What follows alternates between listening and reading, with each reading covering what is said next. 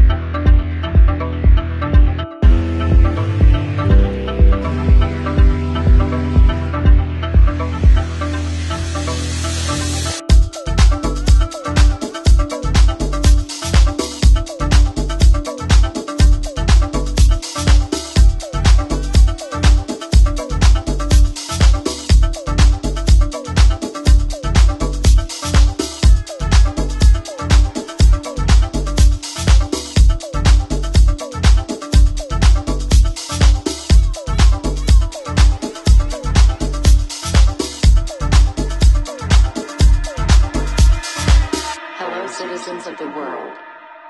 Brothers and sisters, now is the time to open your eyes.